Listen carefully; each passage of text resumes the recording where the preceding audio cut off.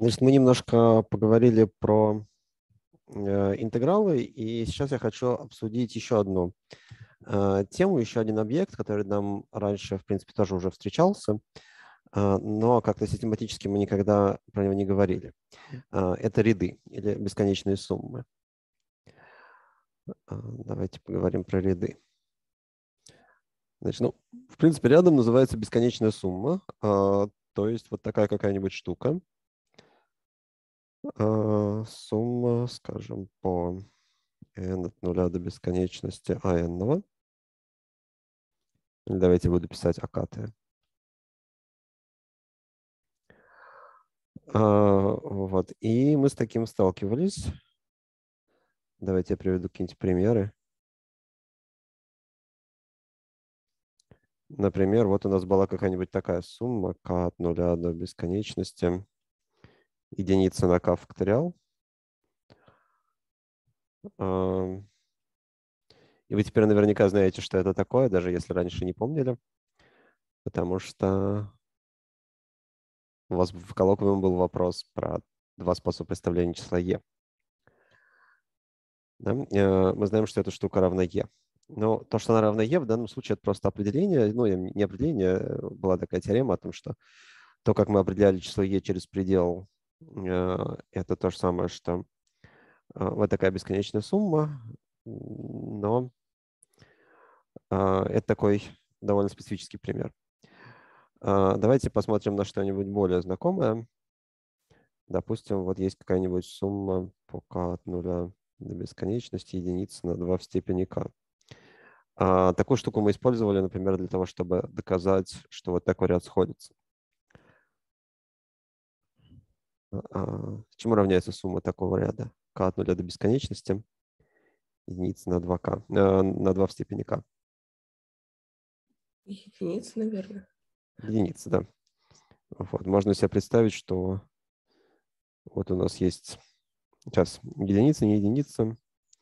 К а, нет, вот там же один, если 0. А, а, да, значит, если выкинуть первое слагаемое, если сказать, что это 1 плюс 1 вторая, плюс 1 четвертая, плюс 1 восьмая, плюс и так далее. А, вот. Ну, понятно, первая слагаемая единичка, а все остальные слагаемые, они просто устроены так, что это а, мы делим пополам, допустим, какой-нибудь квадратик, прямоугольничек, и каждый раз получаем очередную половинку, и понятно, что в сумме они сойдутся просто к единице. Давайте здесь поправлю, пусть это будет все-таки двойка, а не единица. Вот. А, ну, то есть видно, что бывают какие-то такие бесконечные суммы, которые имеют какое-то какое значение. А, давайте я формально напишу, что сумма по k от, там, допустим, от единицы до бесконечности, а это есть, как говорят, предел частичных сумм. То есть предел, при стремящемся к бесконечности, сумма по k от единицы до n о катах. И в этом смысле мы, конечно, уже а, в какой-то мере умеем работать с рядами, потому что а, ну, вот это вот равенство, оно показывает, что сумма ряда, сумма бесконечного ряда – это просто предел – специфической, такой специфическим образом заданной последовательности. Последовательности заданной как а, предел частичных сумм. Вот. Значит, соответственно, вот, вот эти вот штуки называются частичные суммы.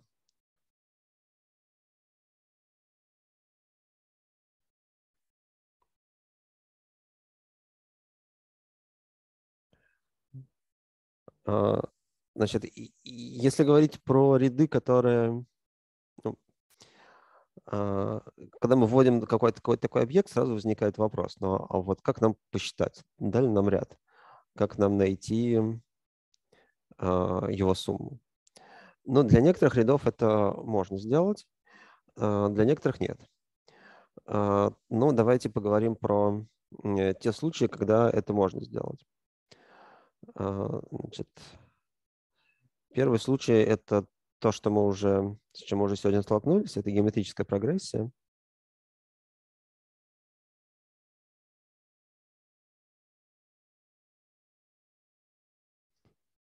Э, то есть это вот такая вот бесконечная сумма. Ну, тут есть какой-нибудь b0 на q в степени k.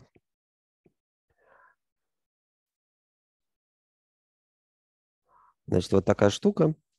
А, как найти ее, а, как найти сумму вот такой вот, вот такой вот штуки? Ну, для этого нужно выписать а, явную формулу для n частичной суммы k от 0 до n b0 q в степени k. Я никогда не могу запомнить эту формулу. Я помню, что там есть какой-то 1 минус q, 1 минус q то ли в степени n, то ли в степени n плюс 1. В общем, я каждый раз ее вывожу заново. Давайте ее сейчас тоже выведу, хотя это школьная формула. Значит, что нужно сделать? Нужно сказать, что у нас есть s, который есть b0 умножить на 1 плюс q плюс и так далее, плюс q в степени n. А есть qs. Чтобы получить qs, мне нужно просто всю эту штуку умножить на q, и получается q плюс q в квадрате плюс и так далее, плюс q в степени n плюс q в степени n плюс 1. И дальше нужно вычесть из одного другое. А, и получается какая-нибудь такая штука. b0. А, тут радостно вот эти вот все штуки сокращаются.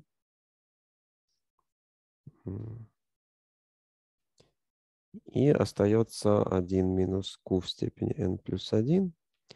И это и есть 1 минус q умножить на s. А, откуда следует, что s это просто b0, 1 минус q в степени n плюс 1 на 1 минус q. Ну вот она наша стандартная формула для суммы а, конечной суммы геометрической прогрессии. А, ну а теперь мы можем легко перейти к пределу, если знаменатель прогрессии, если q по модулю меньше единицы, то вот эта штука будет стремиться к нулю. Э, и давайте я буду Можно... обозначать вот эту s через sn, да? А как мы здесь э, все позачеркивали в серединке? А, смотрите, значит, я вычитаю, вот я, я делаю такую операцию, я вычитаю из а, вот этой штуки, я вычитаю вот эту штуку. А, и поскольку у меня здесь есть совпадающие слагаемые, собственно говоря, они совпадают все, кроме первого и последнего. Вот весь вот этот вот блок, он, он, он совпадает. Поэтому э, у меня э, они сокращаются. Все понятно, спасибо. Угу. Вот. Э, ну и, соответственно, бесконечная сумма э, у нас теперь равняется пределу при n стремящемся к бесконечности Sn. То есть равняется пределу при стремящемся к бесконечности. b0, 1 минус q в степени n плюс 1 на 1 минус q. А, то есть равняется b0, 1 разделить на 1 минус q при модуле q меньшем единицы.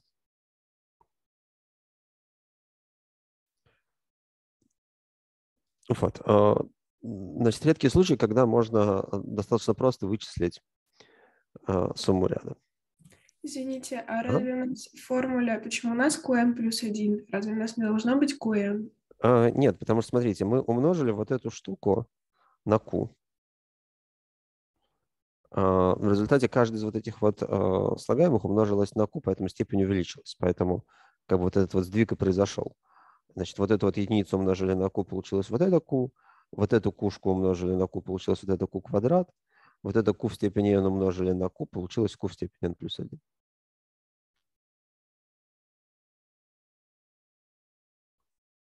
Ответил? Спасибо. Угу. Вот. Э, хорошо. А, давайте еще один пример приведу.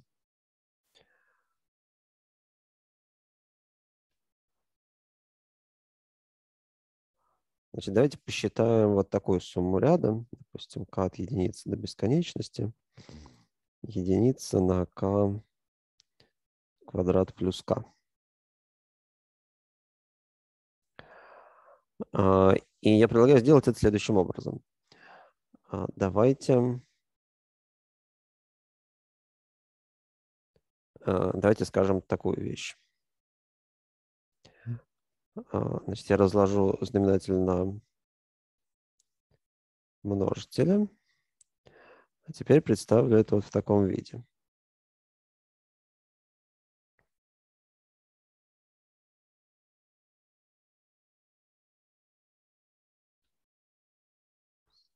Да, видно, что если привести к общему знаменателю, то получится как раз вот эта штука.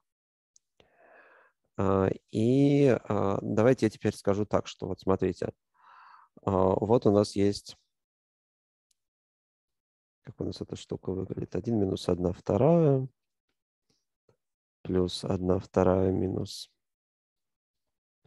1 треть, плюс 1 треть минус 1 четверть, плюс и так далее. А, и вот что хочется сделать в этой ситуации? Ну, вычер... ну все позачеркивать, оставить одну первую и одну бесконечную, ну, без... ну, то есть как бы второй член опережает первый на как бы один, угу. ну, да, ну, если мы хоть... выпишем все члены, а? то у нас э, у первого члена вот один делить на один, это тот элемент, которого нет у второго члена. Uh-huh. А у второго, ну, если у нас мы n зафиксируем в конце, uh-huh. то 1 делить на n плюс 1, это будет тот член, которого нет у первого. И а, получится да. как бы 1 делить на 1 минус 1 делить на n плюс 1. Угу, угу. Да, на самом деле вы сейчас рассказали более правильное рассуждение, чем я сейчас напишу. А, и а, значит, я сейчас его напишу, а потом мы обсудим, почему оно а, почему с такими рассуждениями нужно быть очень осторожным, когда вы работаете с пределами. А, да, вот смотрите. Это, как вы сказали, это на самом деле э, корректнее.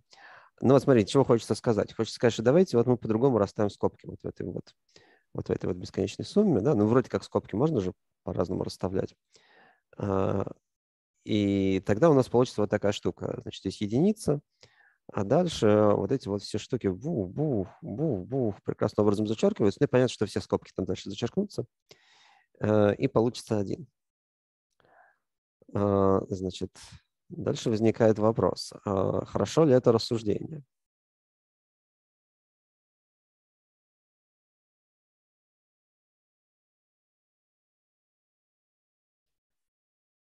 Да, можно было вот так сказать 1 плюс 0 плюс и так далее. Это равняется единице.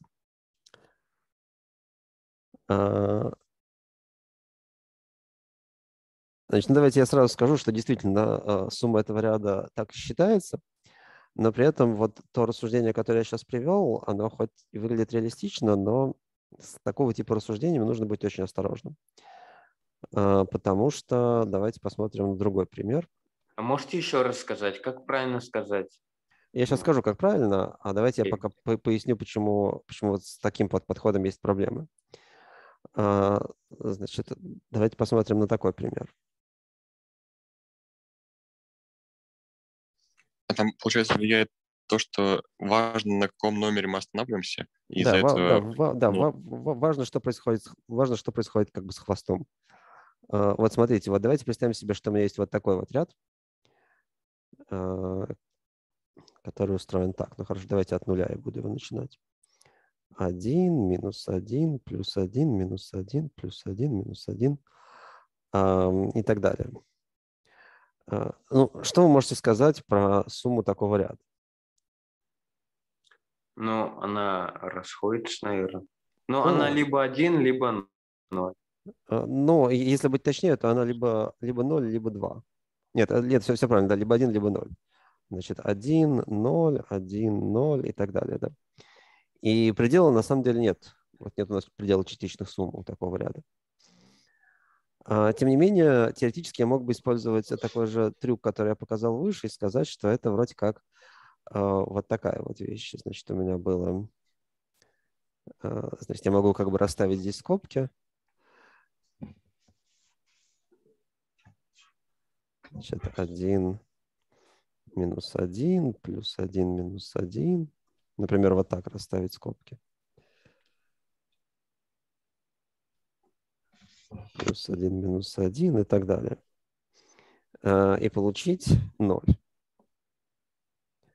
А еще я мог бы, давайте я на всякий случай поставлю здесь знак вопроса, в знак того, что я все-таки не утверждаю, что это правда. А, а еще я мог бы сделать такую вещь. Я могу по-другому расставить скобки, а, а именно вот так.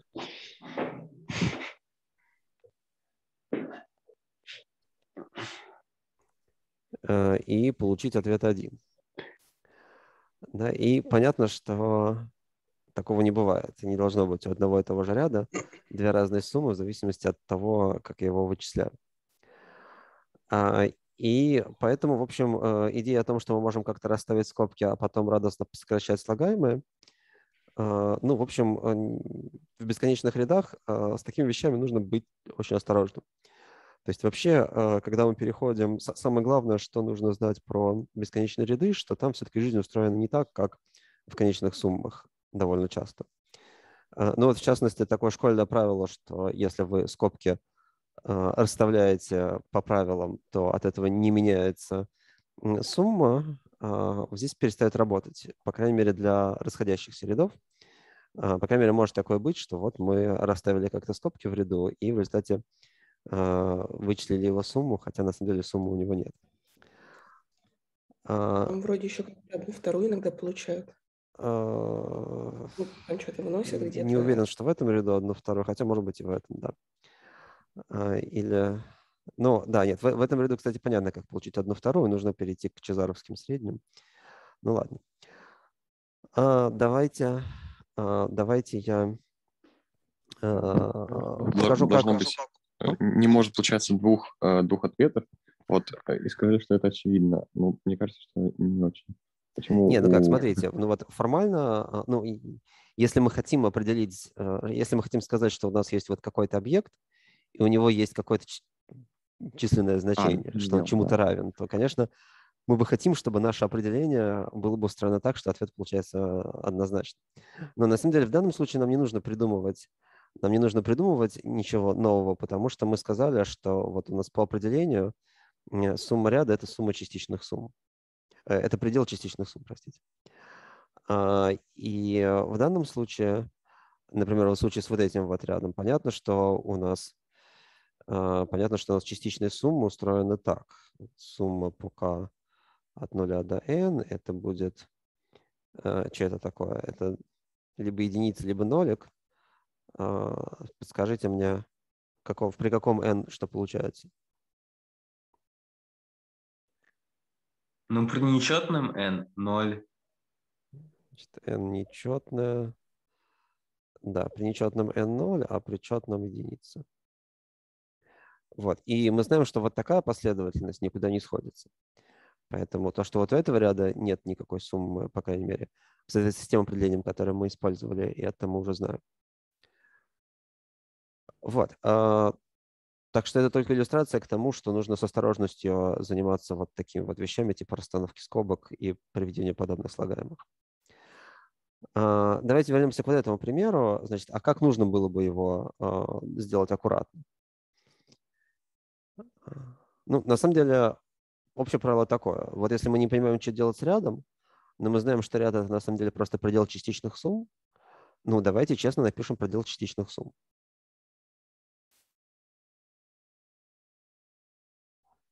Значит, возвращаясь.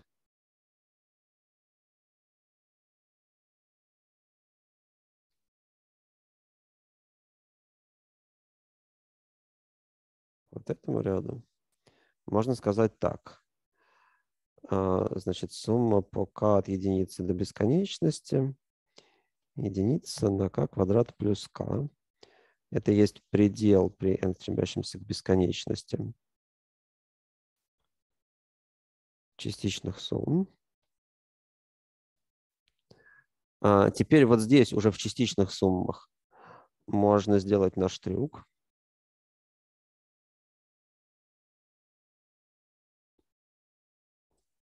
Э, а именно сказать, что это есть Значит, одна первая минус одна вторая, плюс одна вторая минус одна треть, плюс и так далее. Значит, n частичная сумма. Что там у нас в конце будет получаться? единица на n минус единица на n плюс 1. Видимо, так, правильно? Ну, да. Вот, и теперь смотрите, вот, вот это вот, это как бы при фиксированном n, это уже честная конечная сумма при фиксированном n. А, и вот в этой сумме мы уже можем честно вот это все посокращать. Тут уж нет никаких проблем. И сказать, что это будет вот таким пределом.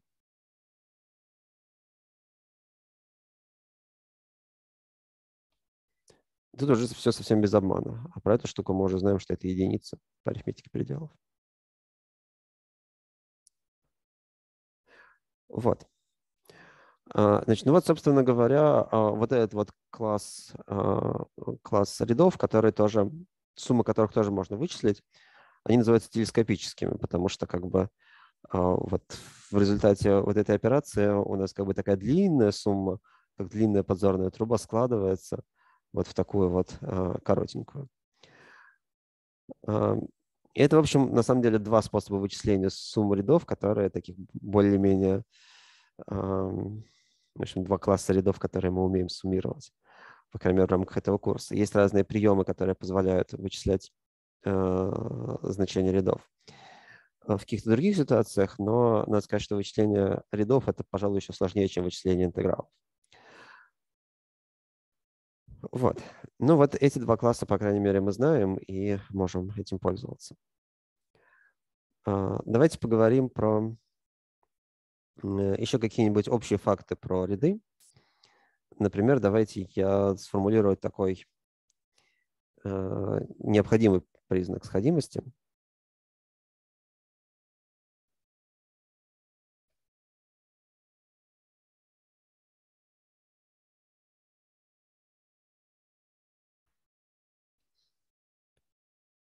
Эм, давайте я скажу, что вот если у меня ой,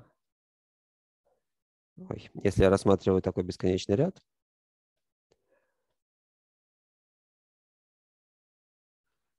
а, если он сходится,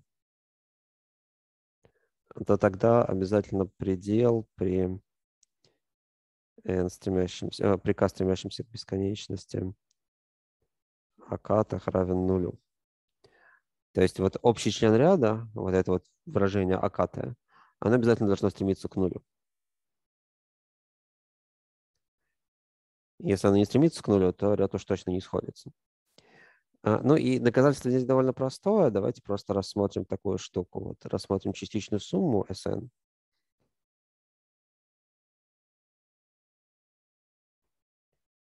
И давайте рассмотрим разность двух частичных сумм. Sn плюс первая и Sn. Давайте Sn и Sn минус первого. Это чему, чему, равна, чему равна такая разность?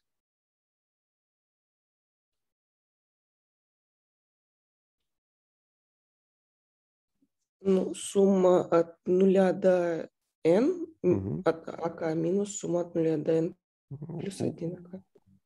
Ну, минус А, а n плюс... Нулю равно. А n да, просто АНТ. Просто АН равно, конечно. Ну, как у нас, э, у нас вот в SN у нас сумма действительно всех элементов А0 плюс и так далее плюс АН, и мы вычли из нее А0 плюс и так далее плюс n минус первое. Ну, понятно, что у нас посокращалось все, кроме, кроме вот последнего слагаемого. Вот, поэтому это просто АН? И теперь можно в этом равенстве перейти к пределу и сказать, что вот у нас есть предел Sn минус Sn минус 1. Это то же самое, что предел an. А с другой стороны, если вот на этот предел посмотреть, то если, а, если у нас есть предел Sn, то можно применить теорему про а, разность пределов, про сумму пределов. Получается вот такая штука, а с другой стороны, каждый из вот этих вот пределов – это предел частичных сумм, то есть это просто вот такие вот штуки. Это ноль. Вот, и все.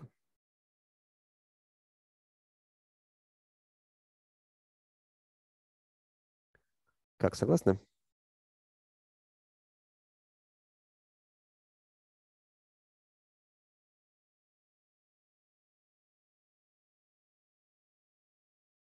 А можете еще раз показать, где здесь признак, в принципе?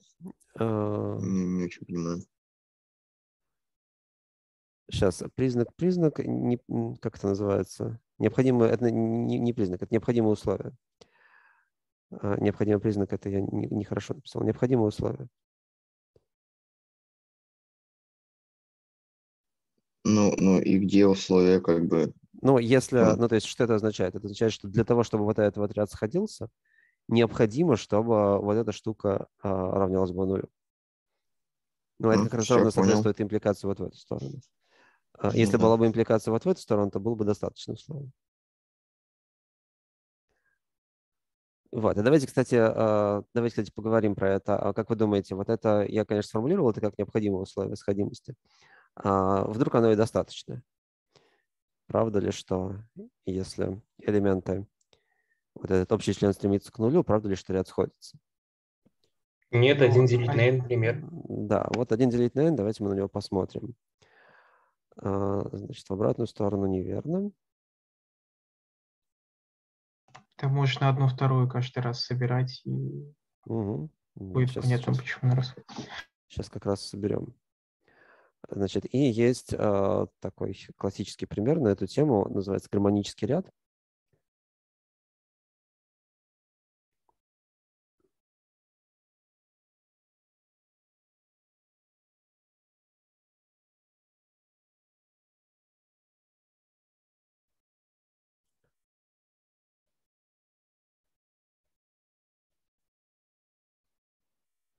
Значит, вот такая вот штука утверждается, что вся эта штука стремится к плюс бесконечности. А, Почему это так? Ну, давайте я просто выпишу достаточно большой кусок этой суммы. Мы посмотрим, как он оценивается.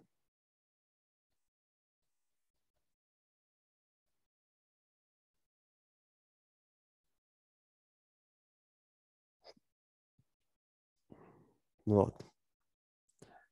А, теперь идея такая. Значит, вот одна вторая оценивается как одна вторая.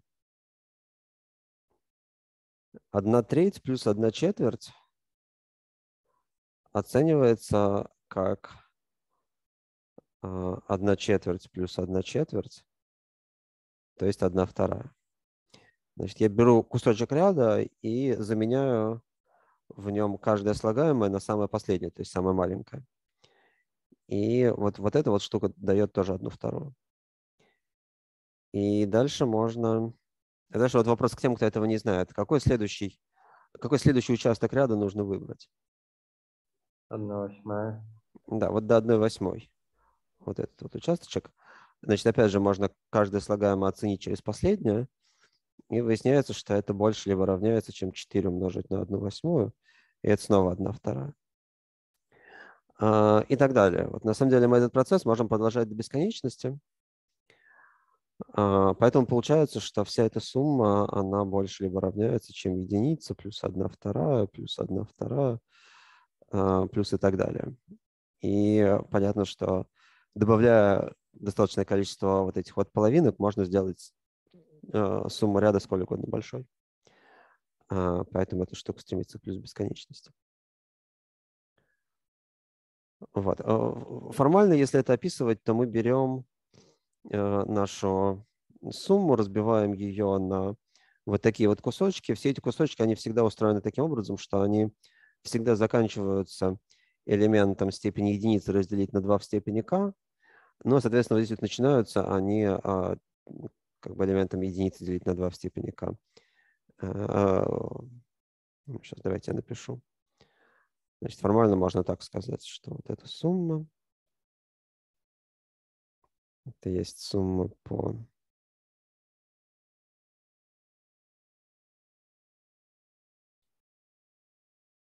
какой-нибудь m. Э, Не знаю откуда, давайте посмотрим.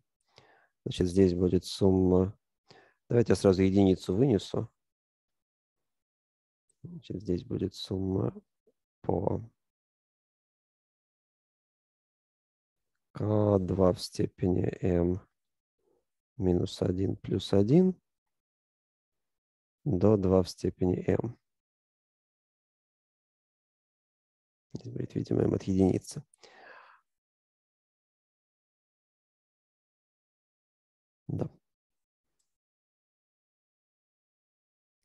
Вот. И каждый из вот этих вот штук, она больше либо равняется одной второй. Вот получили бесконечную сумму. Вот. А, ну вот, а, видно, что гармонический ряд не сходится. А, и на самом деле это очень похоже на то, что интеграл единицы, деленный на x, тоже не сходится. Интеграл от единицы до бесконечности. Вот. Там на самом деле очень похожая симптотика. Вот, поэтому мы видим, что просто так э, увидеть, что общий член ряда стремится к нулю и сделать из этого что ряд сходится, нельзя. Не факт, что сходится.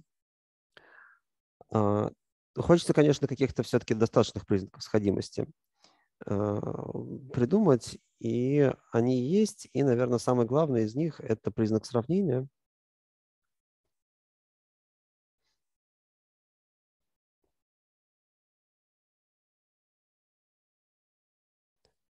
очень похоже на такую же теорему про интегралы.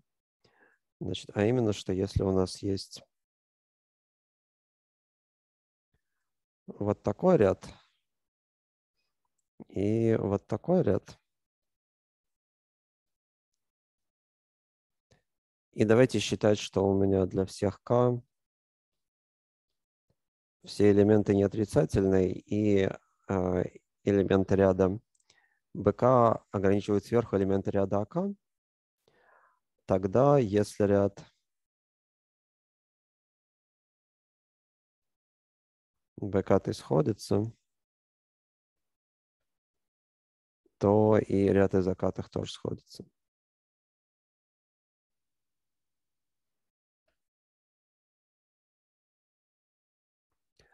Вот. Ну, это такая полезная штука, потому что про некоторые ряды мы уже знаем, что они сходятся, например, про геометрические прогрессии. А, и эта штука позволяет а, доказывать, что разные другие ряды тоже сходятся, которые можно ограничить с помощью наших. А, давайте я... А давайте я не буду эту штуку доказывать, давайте я оставлю доказательство в качестве упражнения.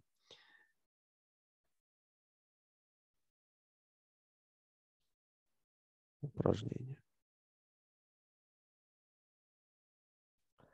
Вот, давайте я вместо э, этого доказательства расскажу вам э, еще один признак, более веселенький, э, а именно интегральный признак сходимости.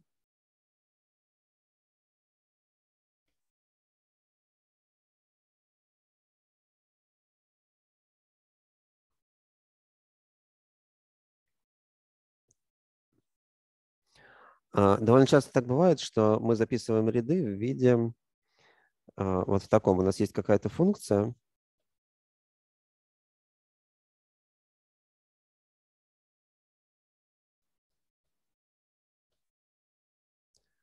а, Значит, рассмотрим какую-то функцию. Вот давайте будем считать, что она определена на, от единицы до плюс бесконечности.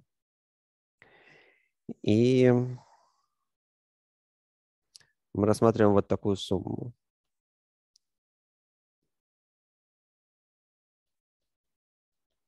То есть как бы у нас функция теоретически определена при вещественных числах, но мы в нее будем поставлять только целые числа, целые положительные, ну не, не отрицательные. Или давайте от единицы пусть будет. А, натуральные числа. Вот. И Оказывается, что тогда а, при некоторых дополнительных условиях вот эту вот сумму ряда можно связать с а, интегралом от функции f. А именно можно сказать вот что. А, пусть функция f не отрицательна,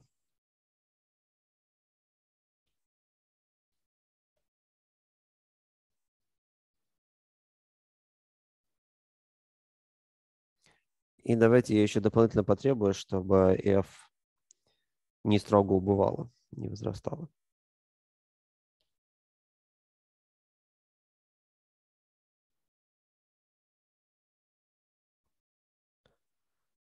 А, Тогда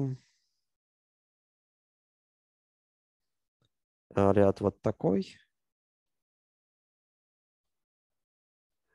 а, сходится тогда и только тогда,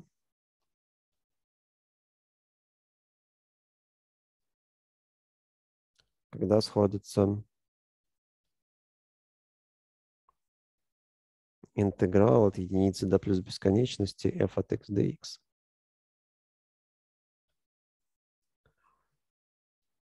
Значит, вот такая теорема.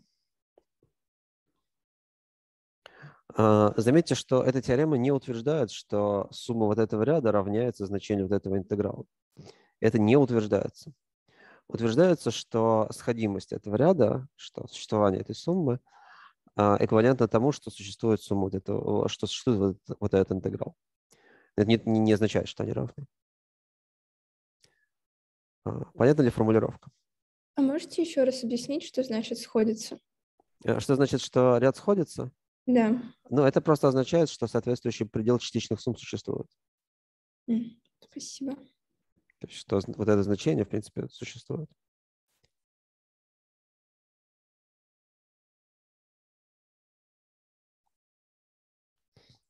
Вот. Давайте докажем.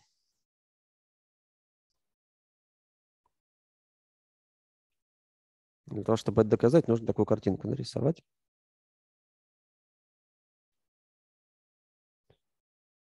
Ну вот давайте докажем, например, что если интеграл сходится, то ряд сходится.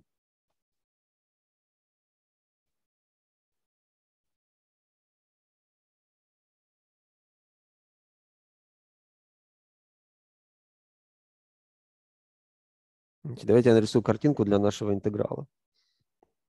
Вот у меня есть моя функция.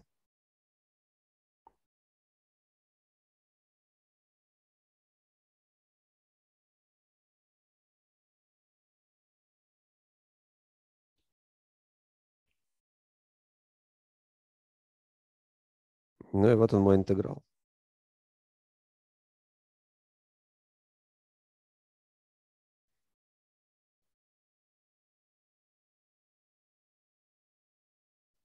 А вот теперь как бы мне на этой же картинке изобразить вот такую вот бесконечную сумму?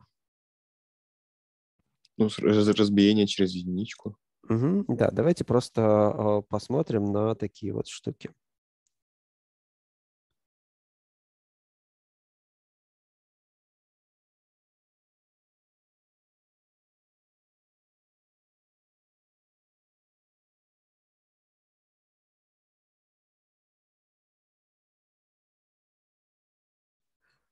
Значит, у- у- вот я нарисовал здесь какое-то количество прямоугольников. Ну, понятно, что их туда будет бесконечно много. А там еще f от единицы должно быть. Да.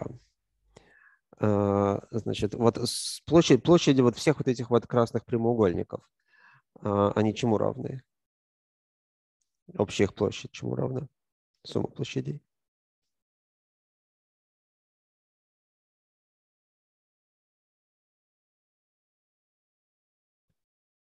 Значит, площадь. Ну, Получается 1 на f от 2, плюс, ну, f от 2 плюс f от 3 Ага. плюс 4. Значит, площадь ступенчатой фигуры – это f от 2 плюс f от 3 плюс и так далее. То есть это сумма по k от единицы до бесконечности. А, окей. Сумма по k от двойки до бесконечности f от k. А, ну, понятно, что наш ряд отличается от вот этого ряда только одним членом. А, вот в этом ряду добавлен еще член f от, нуль- э, f от единицы. Но понятно, что если вот эта штука сходится, то и вот эта штука сходится. И наоборот. Сейчас, а, вот нам нужно было брать... а, почему мы берем вот как раз правые концы? Правые Вот концы, в да. отличие- а- Мгм.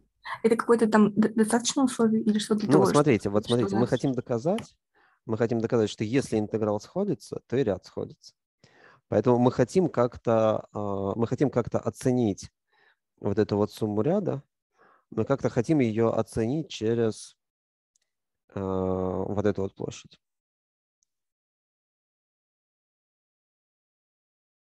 Мы хотим сказать, что а, нам нужна оценка сверху. Поэтому мы хотим, чтобы вот эта фигура, которую мы нарисовали, чтобы она была бы внутри вот этой вот фигуры, площадь которой мы, про площадь которой мы знаем, что она конечна. Поняла, спасибо. Вот. э, Значит, вот мы знаем, что эта площадь ступенчатой фигуры, она не превосходит интеграла от единицы до плюс бесконечности f от x dx.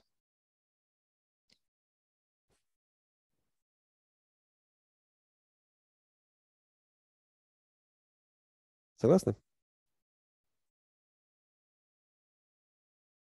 Вот. А с другой стороны, наша сумма по k от единицы до бесконечности f от k, это просто f.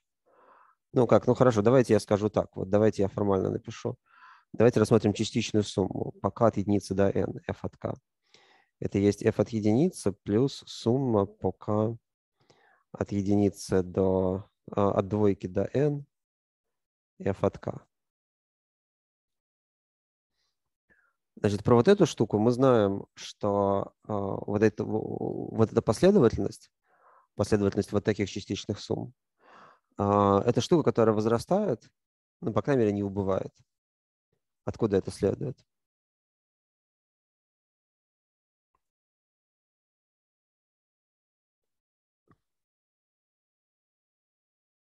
Из невозрастания f от функции. М, Из, а, ну, на самом деле, из вот этого условия Наоборот.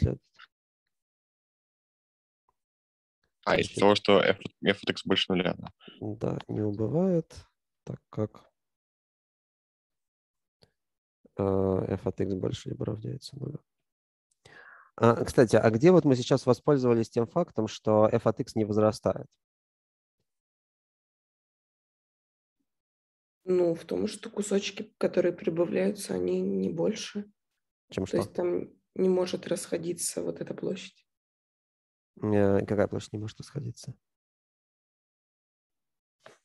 Ну, которая из квадратиков состоит, ну, прямоугольничков. Сейчас, а что точно вы про нее утверждаете? Что, что, точно, что точно можно сказать про вот эту площадь, а, глядя на условия вот этого вот невозрастания? Ну, то, что эта площадь, ну, типа, не увеличивается, ну, точнее, увеличивается все медленнее и медленнее. Это, конечно, правда, но, но не совсем понятно, как из этого... Ну, как бы мы можем сделать более сильное утверждение. А, Вот смотрите, вот нам условия невозрастания нужно, знаете, зачем? А, Чтобы гарантировать, вот, а, вот почему я вот это неравенство написал? Откуда берется вот это неравенство?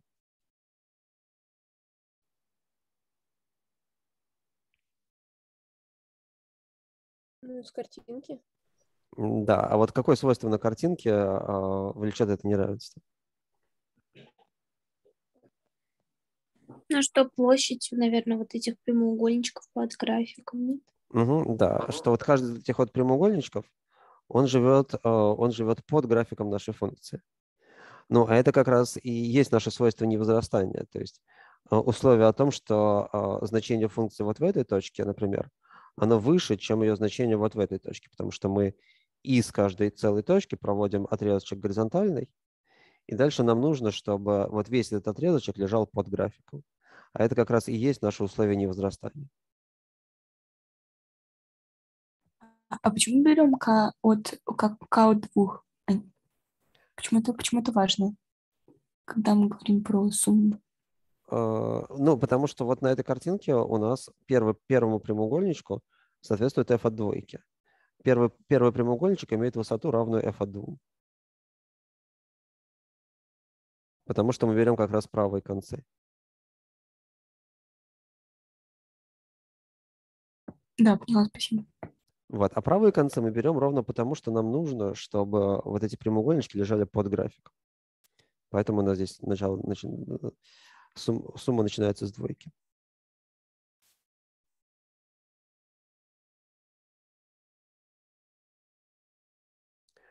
Вот.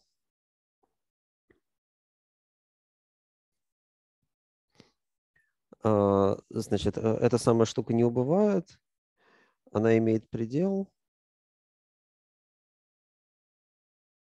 Сейчас, не так. Значит, вот эта шту- штука не убывает, она ограничена. Значит, ограничена вот этой суммой.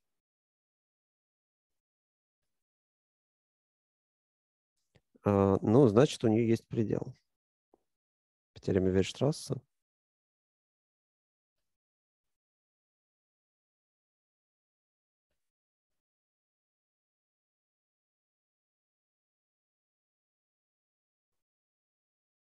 Ну и, и значит, э, у нас есть предел вот таких частичных сумм, ну, значит, есть и предел таких частичных сумм, потому что они отличаются просто добавлением константы.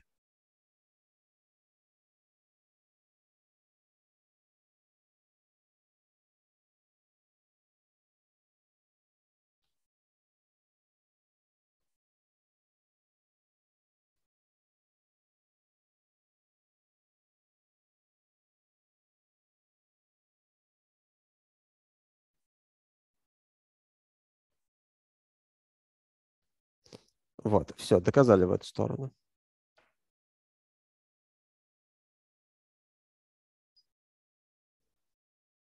Согласны? Можно вопрос? Мгм. Нам же еще возрас... не возрастание этой функции важно, чтобы вообще интеграл сходился, да? Но если бы у нас функция возрастала, то интеграл бы не сходился. Нет, но это, это, это вообще не факт, потому что теоретически можно придумать какую-нибудь странную штуку, а, можно придумать какую-нибудь вот такую вот функцию, у которой, а, у которой, от которой интеграл сходится, но при этом она не возрастает. А, поняла, спасибо.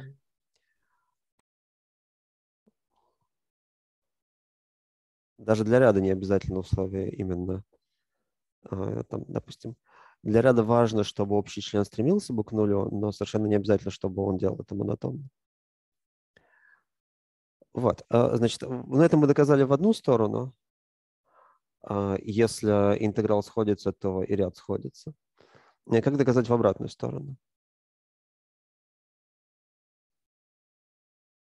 Если ряд сходится, то интеграл сходится.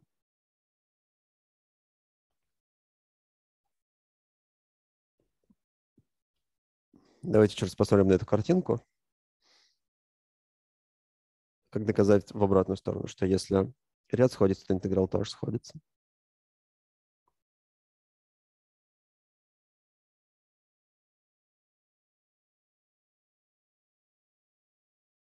А, ну, может взять теперь f от одного, f, ну, то есть Мгм. эти столбики, чтобы у них э, высота мерилась по первому, э, как бы, первой штуке. Мгм. Да, совершенно верно. Теперь нужно брать, наоборот, левые, а, левые концы каждого отрезочка. То есть сказать так, что вот у нас наш, наша картинка. И давайте мы теперь будем рисовать вот такие столбики.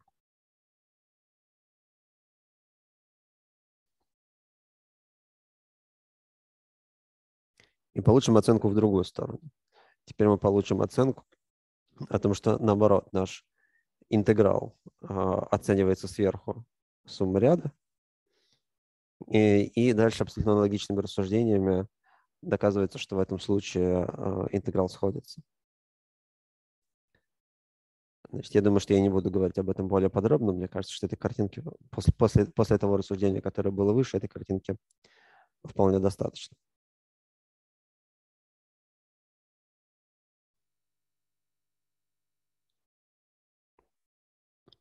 Вот, давайте я переведу пример. Допустим, вот такая вот штука. А, Сумма обратных квадратов. А, Вот эта штука сходится. Но доказать это без интегрального признака сходимости а, кажется не так-то просто.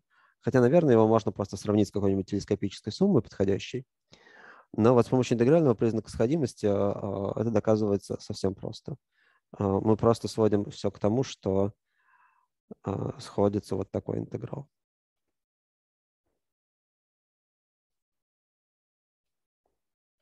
Все условия выполняются. Функция не, убыв... функция не возрастает при положительных иксах. Все числа больше нуля, и поэтому интегральный признак сходимости прекрасным образом работает.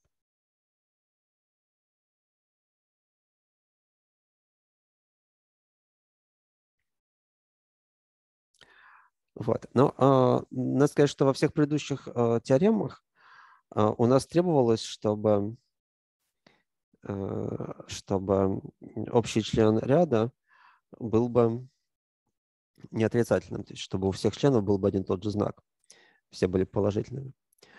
Это такая приятная ситуация, но бывают и другие. Значит, бывают знак переменные ряды,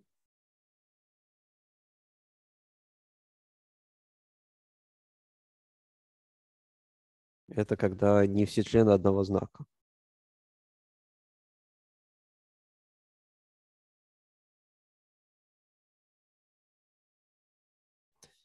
И нас будет интересовать, особенно, в особенности нас будет интересовать знакочередующиеся ряды.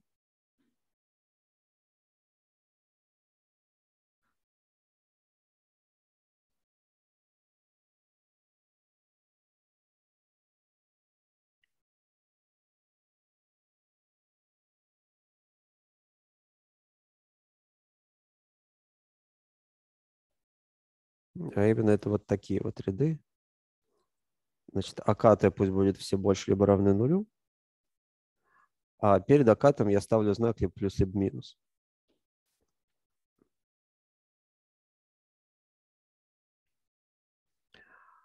Вот. И тут справедлива такая теорема, что для знака чередующихся рядов а, вот необходимые условия сходимости, которые, про которые мы говорили, оно же оказывается и достаточным. А, а именно, если АКТ стремится к нулю, то вот такой ряд сходится.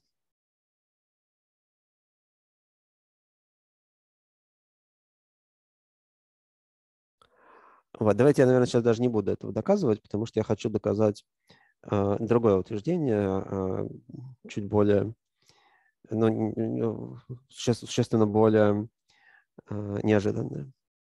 Но прежде чем я его докажу, давайте я дам э, еще пару определений, точнее, одно определение.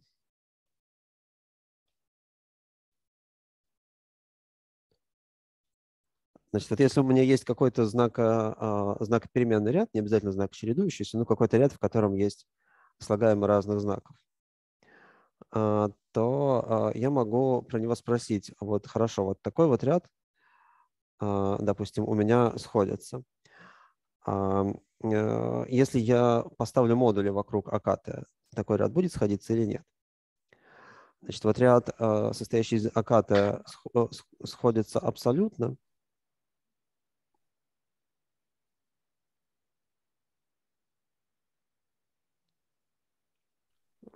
если ряд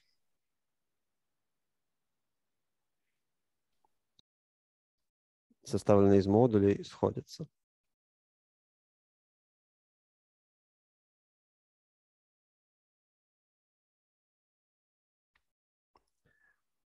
А, значит, если ряд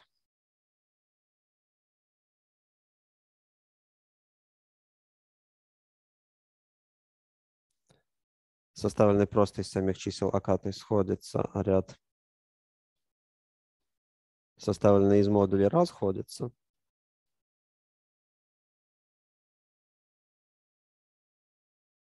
А, то говорят, что а, наш первый ряд сходится условно.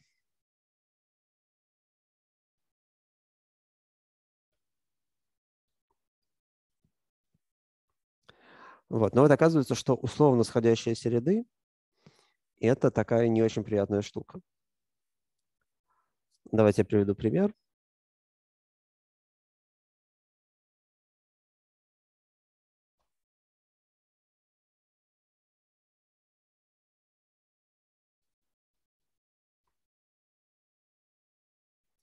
Вот скажите, вот такой ряд, что вы можете про него сказать? Сходится условно. Э, сходится условно. Почему он сходится? Вы В прошлой серии мне сказали, что достаточно и необходимые условия в этом случае будет одно и то же. Да, потому что это знак, знак чередующийся ряд, и общий член стремится к нулю, а, поэтому сам он сходится. С другой стороны, если мы поставим модуль, то есть уберем вот этот минус 1 в степени k, то мы получим гармонический ряд, про который мы знаем, что он расходится. Поэтому вот этот вот ряд сходится условно. А, и давайте я сформулирую теорему, которую я, про которую я хотел рассказать, потому что она довольно контринтуитивна. А, значит, теоретически, ну вот можно там, вспомнить какое-нибудь школьное правило. От перестановки слагаемых э, сумма не меняется. И теоретически можно рассматривать перестановку слагаемых в рядах. Э, давайте, э, значит, я скажу так. Ну вот что такое перестановка слагаемых в рядах? Это означает, что мне нужно э, просто задать какой-то способ переупорядочить слагаемые, то есть задать какое-то отображение, которое покажет, какое слагаемое на какое место поставить. И теорема состоит в следующем, что можно перестановкой а, элементов условно сходящегося ряда добиться того, что его сумма не просто поменяется, а что она может быть равна чему хотите. А, значит, утверждение состоит в следующем. Путем перестановки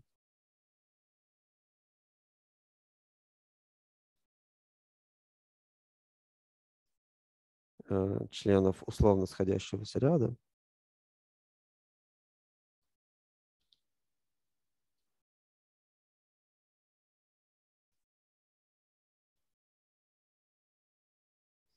Его сумму можно сделать любой.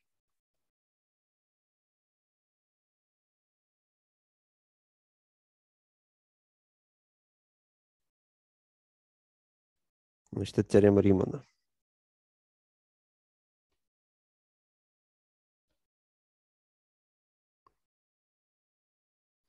То есть э, правило про то, что от перестановки слагаемых суммы не меняются, тут решительным образом перестает работать. А надо сказать, что для абсолютно сходящихся э, рядов это неверно. Э, в абсолютно сходящихся рядах можно менять порядок.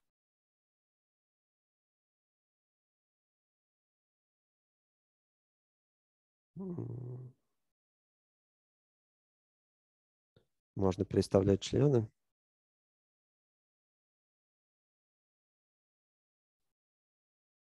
Сумма от этого не поменяется.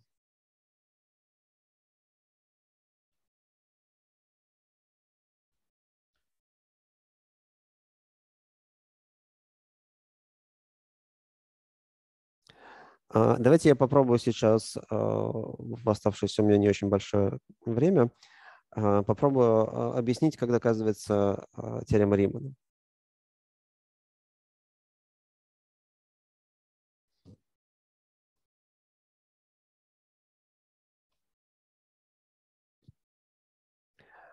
Значит, первое замечание такое. Вот смотрите, вот пусть у меня есть, значит, пусть у меня есть ряд А1, А2, А3 и так далее.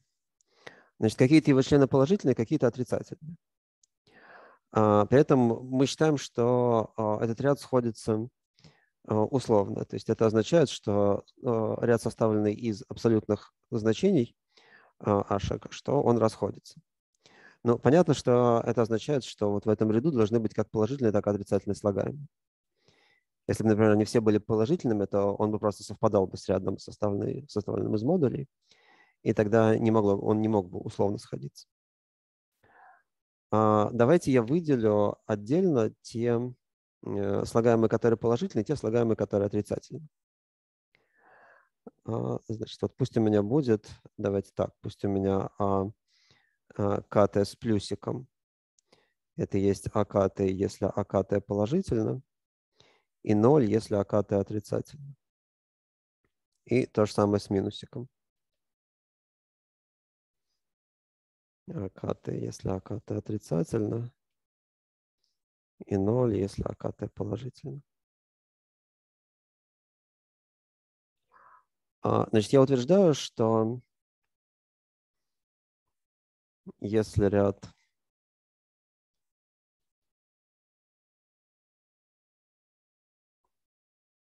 АКТ сходится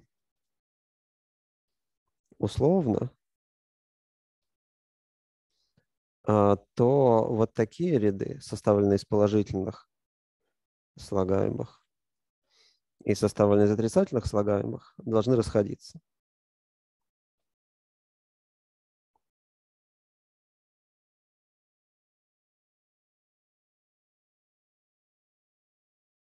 Ну, почему это так?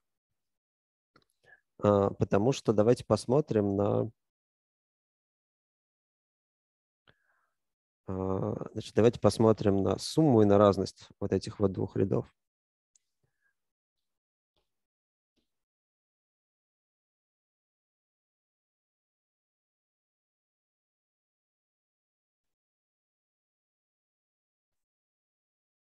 Значит, давайте посмотрим на вот такую вот штуку. Вот это, это что такое?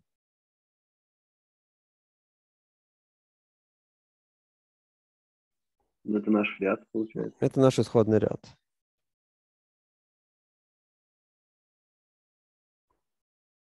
А вот такая штука, это что такое?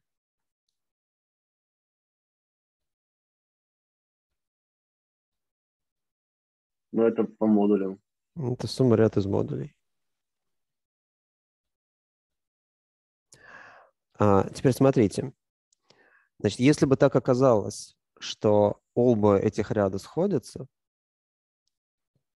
а, ну, тогда бы просто наш бы ряд сходился бы. А, это хорошо, но тогда бы и ряд из модулей сходился бы. Потому что ряд из модулей – это просто разность двух рядов. Тогда была бы. Если бы они оба сходились. А если бы один из них сходился, а другой расходился, тогда наш ряд не мог бы сходиться, потому что наш ряд – это сумма вот этого ряда и вот этого ряда. Да, значит, единственный вариант – это чтобы оба этих ряда бы расходились бы. А, Значит, вот этот вот ряд должен стремиться к плюс бесконечности, а вот этот ряд должен стремиться к минус бесконечности. Согласны с этим утверждением? Можете еще раз, почему так происходит? Мгм. Ну вот смотрите, значит, вот если бы так оказалось, что, например, они оба, а, значит, если вот эти вот два ряда, если они оба сходятся,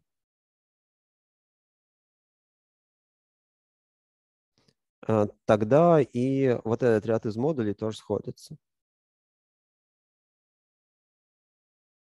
Ну, он просто является суммой двух рядов. Согласны? Да. Вот, можно перейти к пределу суммы и дальше там воспользоваться арифметикой пределов. А Если один из этих рядов сходится, а другой нет,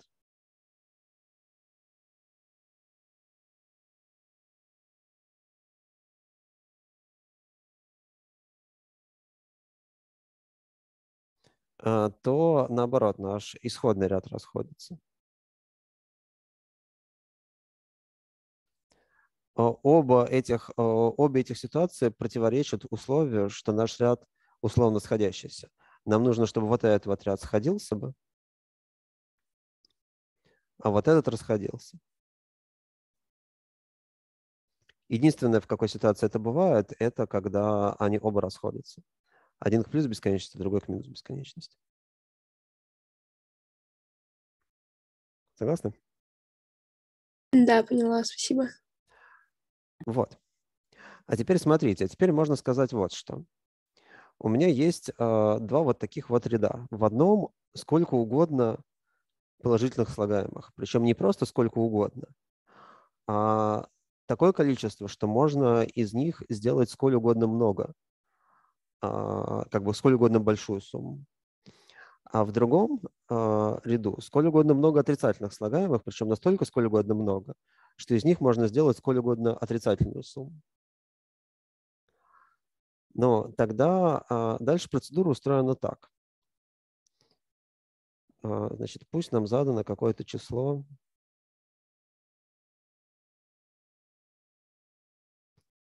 Э, число r.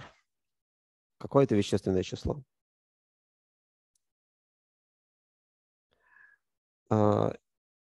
Давайте, э, давайте для, для простоты считать, давайте для простоты считать, что r больше нуля. А, тогда я буду действовать таким образом. А, значит, а, из исходного ряда я выбираю положительные слагаемые по очереди. Ну, давайте положительные слагаемые и нули. А, до тех пор, а, пока их сумма э, не превысит r.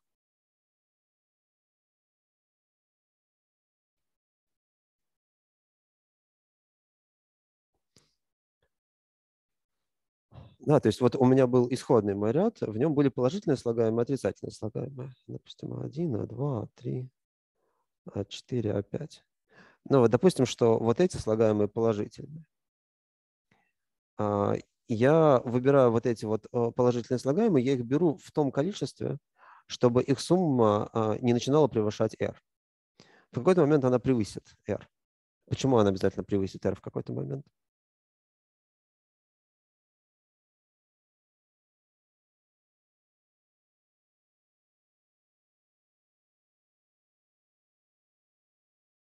Ну, потому что есть расходящаяся вот последовательность. Ой, да. Потому что ряд, составленный из положительных элементов нашего исходного ряда, расходится без, плюс бесконечности. Его сумму можно сделать сколь угодно большой. А, как только мы а, превысили R, мы переключаемся в другой режим. Мы говорим, что мы получили слишком большую сумму, давайте теперь а, делать ее меньше. А именно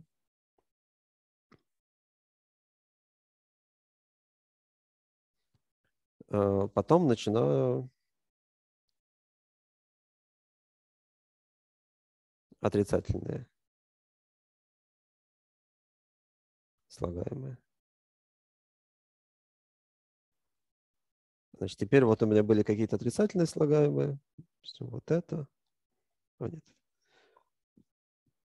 И я теперь э, их ставлю вот на следующие места. Как бы вот здесь вот я формирую мой новый ряд. Новый ряд формируется путем перестановки элементов старого. И сейчас я задаю, как эта перестановка выглядит. А, значит, вот на первые места я ставлю какие-то положительные члены в достаточном количестве. А потом, а, начиная с какого-то момента, я начинаю формировать мой новый ряд, и наоборот, из отрицательных членов. Значит, вот это вот пусть будет какой-нибудь там B5, B6 и так далее. Значит, отриц... выбираю отрицательные слагаемые до тех пор, пока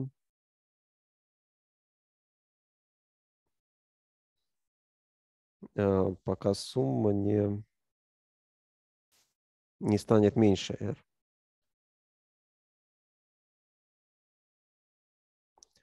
Опять же, я этого точно могу сделать, потому что у меня в отрицательных слагаемых достаточно слагаемых для того, чтобы для того, чтобы получить любую отрицательную сумму, какую хочу. Но, значит, в частности, начиная с какого-то момента общая сумма вот всего этого начального кусочка станет меньше r. А, и снова переключаюсь. А, значит, затем снова выбираю положительные слагаемые.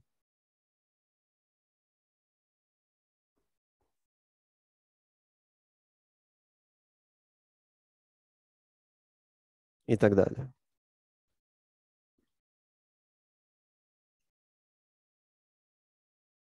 Вот, то есть что у меня получается? У меня получается какая-то такая история, что вот у меня есть R, и мои частичные суммы моего ряда, нового, уже после перестановки, устроены так, что э, они сначала они перескакивают через R, но сразу после этого они начинают уменьшаться, потом они перескакивают через R в другую сторону и так далее. Причем, поскольку обязательно модули вот этих вот всех чисел стремятся к нулю, вот эти шажки, а, перескоки в одну сторону и в другую сторону будут становиться все меньше и меньше. И поэтому у нас возникает вот такая вот последовательность, которая будет действительно стремиться к R.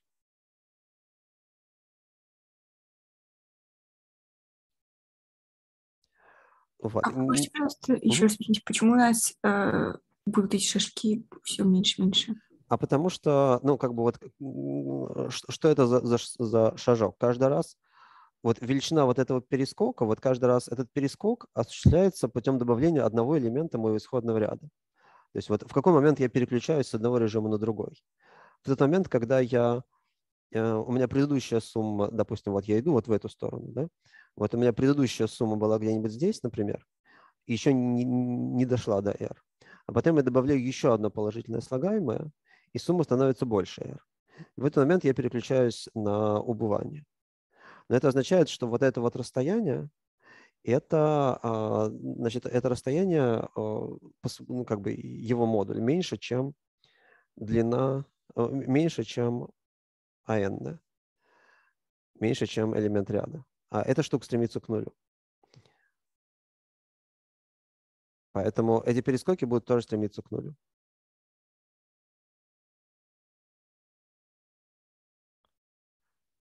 Вот. Ну, вот такая... было сказано, что АН стремится к нулю. АН стремится к нулю, потому что ряд э, сходится условно. А, все, да. И это означает, что общий член стремится к нулю. А в таком случае, если нам изначально было сказано, что, э, что, что ряд стремится условно, мы сейчас э, что, что именно доказали? Э, мы доказали, что элементы этого ряда, вот исходного, можно переставить так, чтобы сумма равнялась бы чему хотим. Вот хотим какому-то числу r. А, переставляем, переставляем элементы моего ряда и значит, получаем любое число, какое хотим. Спасибо. Угу.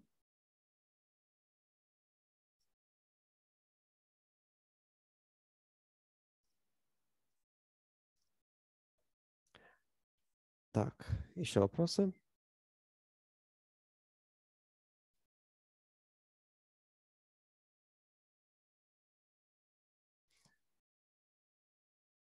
Вот. То есть это немножко контринтуитивно, потому что мы привыкли к тому, что все-таки перестановка слагаемых не меняет сумму.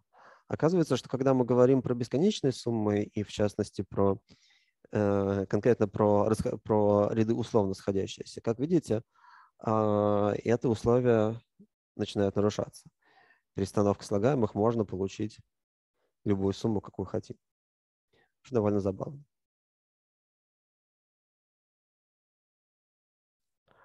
Вот. Ну, все, наверное, на сегодня. А там мне нужно бежать. Окей? До свидания. Спасибо. Спасибо большое. До свидания. До свидания. Спасибо, до свидания.